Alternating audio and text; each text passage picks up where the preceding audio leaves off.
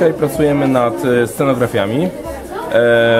Powstały już e, w dużej mierze postacie, e, scenografie powstają.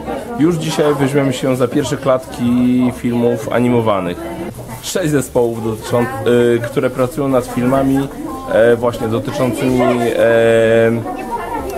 jakichś podwodnych klimatów, łodzi podwodnych, skarbów, więc a co dokładnie powstanie dowiemy się w piątek na gali. E, w piątek na uroczystej gali będzie można zobaczyć film po raz pierwszy, a e, będzie on również dostępny w internecie, tak jak wszyscy, filmy z wszystkich wcześniejszych edycji. Czego używamy? E, stropianu, tektury, folii, drutu, plasteliny.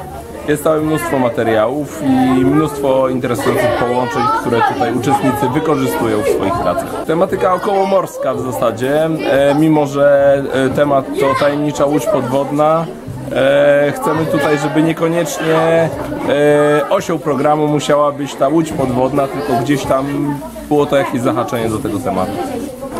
Opolskie Ramki 2014 rok. Tytuł Opolskich Lamek Tajemnicza Łódź Podwodna. To jest nasza e, łódź podwodna. Ma przypominać rekina.